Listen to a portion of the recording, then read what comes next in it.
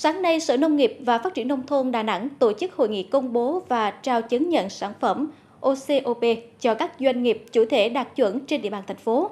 Phó Chủ tịch Thường trực Ủy ban Nhân dân thành phố Hồ Chí Minh đến dự và trao chứng nhận. Tại hội nghị, Sở Nông nghiệp và Phát triển Nông thôn thành phố đã công bố và trao chứng nhận cho 18 sản phẩm đạt OCOP của huyện Hòa Vang và 5 quận trên địa bàn.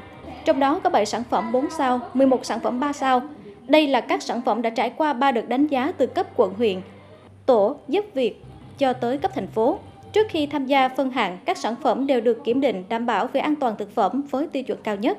Thông qua hội nghị cũng sẽ chọn 3 sản phẩm tiềm năng để nâng cấp chuẩn hóa tham gia đánh giá 5 sao cấp trung ương. Dịp này, Sở Nông nghiệp và Phát triển Nông thôn cũng trao chứng nhận sản phẩm hữu cơ Hợp tác xã rau Tý Loan, xã Hòa Phong, huyện Hòa Vang. Đây là đơn vị đầu tiên của Đà Nẵng được công nhận sản phẩm hữu cơ đạt chuẩn.